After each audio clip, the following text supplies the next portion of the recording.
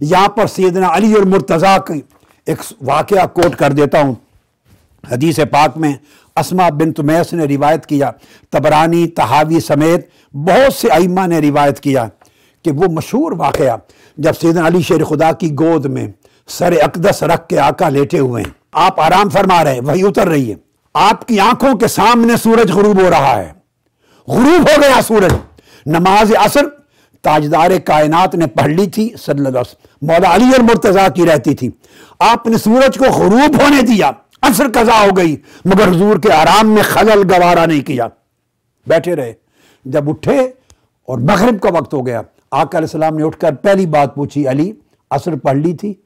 अर्ज़ किया, नहीं या रसूल अल्लाह आपके आराम के खलल के लिए नहीं पड़ी आका सलाम ने दुआ की और अर्ज़ किया, बारी ताला, इन्ना अली जन का नफी तातिक वतात रसूलिक फरदुद अलय शम्स वकालत असमा फ़रई तो हा गारबत व रई तो हा ताला अतबा दमा गारबत बारी ताला अली तेरी इतात में और तेरे महबूब की इतात में मसरूफ था नमाज़ असर जा रही है और फरमाया तेरी इतात में मसरूफ था और मेरे आराम को खलल नहीं आने दिया सूरज को लौटा दे सिहाबियात और सिहाबा कहते हैं हमने सूरज को डूबते देखा था मगर डूबे हुए सूरज को पलटता हुआ देखा और फिर नमाज़ असर अदा की।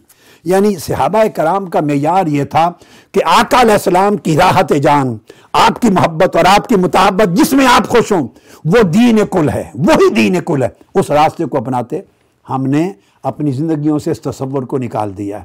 अगर इस मोहब्बत और मुताबत के रिश्ते को समझते तो हमारी ज़िंदगियाँ आकलाम की मोहब्बत के नूर से भी मामूर होती और हमारी सीरतें और हमारे किरदार हजूर की मुताबत के नूर से भी रोशन होते।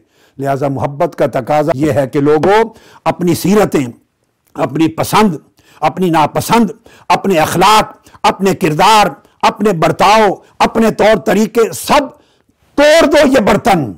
फ़कत आकाम की सीरत के बर्तन में, हुजूर की मुताबत के बर्तन में चले जाओ।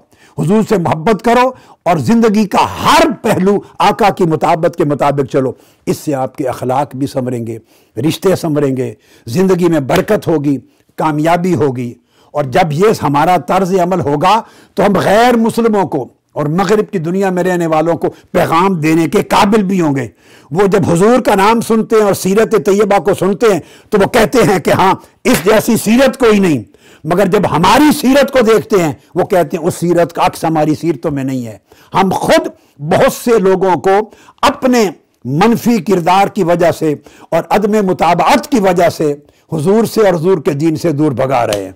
सबसे पहले नई वीडियोस को हासिल करने के लिए शेखुल इस्लाम, डॉक्टर मोहम्मद ताहिरुल कादरी के ऑफिशियल यूट्यूब चैनल को सब्सक्राइब करें और बेल आइकन क्लिक करें।